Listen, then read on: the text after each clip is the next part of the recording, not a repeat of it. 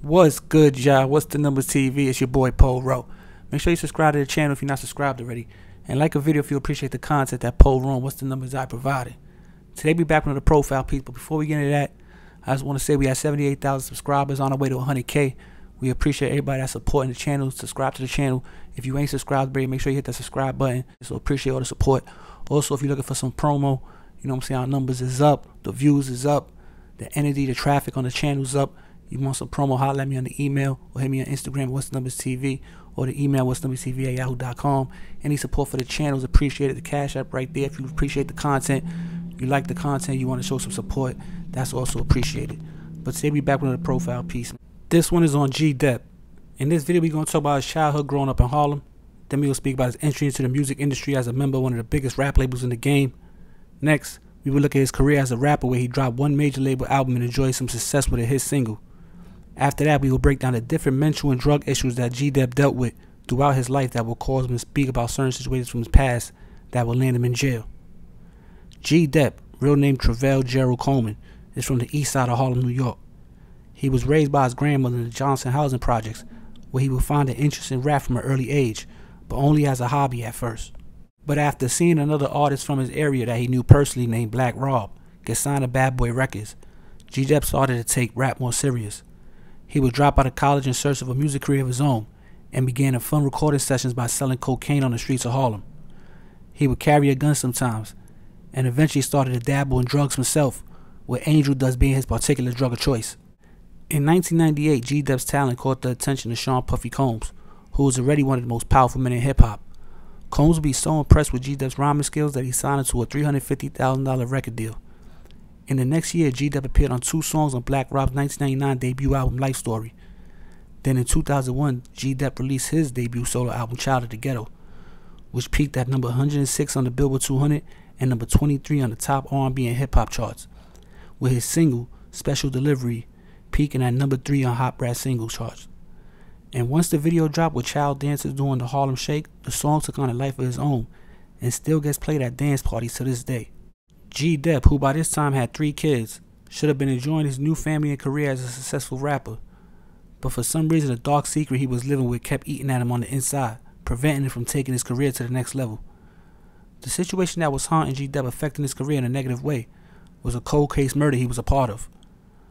The murder details go like this. In the fall of 1993, a month before his 19th birthday, G Dep used a gun to mug a random stranger on 114th at Park Avenue in Harlem. The robbery ended up being botched when the victim resisted a bit.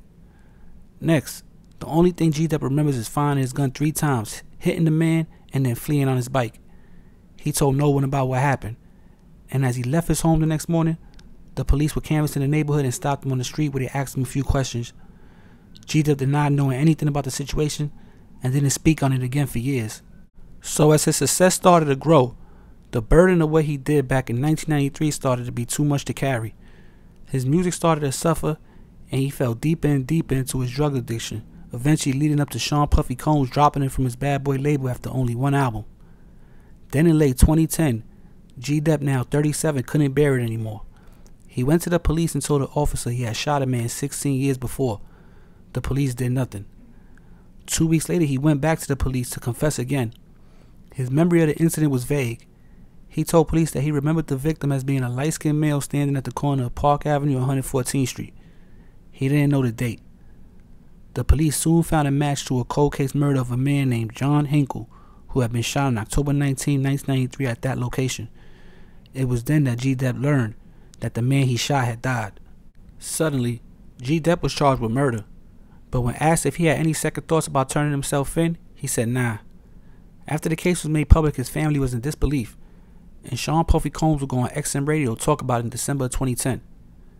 It was during this interview that Puff would say that G Dep is one of the nicest artists he ever worked with, but you could always feel like something was troubling his soul.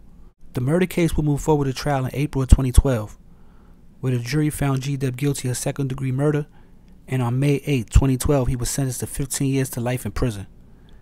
He was 38 years old at the time and is eligible for parole at the end of 2025. But yo, it's What's the Numbers TV. That was a quick profile piece on G Dep, real name Trevell Gerald Coleman. Now, if you know anything about G Dep, you know he was a bad boy record artist.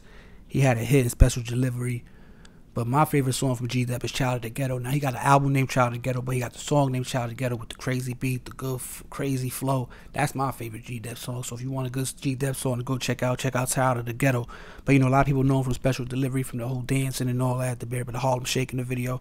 So you know, he had a little run. I'm sure he did a bunch of shows with off that song and moving around and all that. So I'm sure he lived some type of a rap dream, a rap career.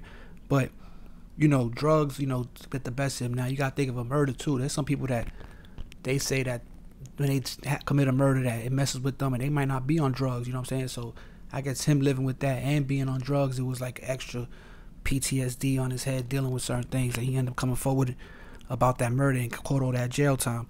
Now, if you know he from East Harlem, El Barrio, that's where Black Rob is from. So G. Dep Johnson, Jeff, you know, First Ave, East River, 1199, all that's that, that area over there. So, you know, that's the area he's from, you know what I mean? So now I used to be in the east side of Harlem, you know, back then. So back in the day, and I used to see uh, G Dep getting off the train right there, the sixth train on on one tenth over there. Right, you come on off of Third Ave. You know, by the, by the project building and the stores right there, the supermarket. So right there, I used to always see him walking down that block, high as a kite. I ain't gonna lie, spaced out looking, but he always showed love. Like yo, he'd be like, yo, yo, but he looked like spaced out. I ain't gonna lie. So it was never like a secret that he was dealing with different things. You know what I'm saying? So shout out to D to G Dep. I'm sure he probably got himself some more clean in there, some of focus as far as mind clear, and he should be coming up for parole in 2025. Now he was 38 when he went in, so he'll be about 50 years old almost, maybe a year 51 or something. But you know, this profile piece is on G man. I ain't gonna ramble too long. It's what's the numbers TV. It's your boy Paul Rowe. Make sure you subscribe to the channel. Go follow the Instagram, and you back before you know it, man. We out of here. Peace.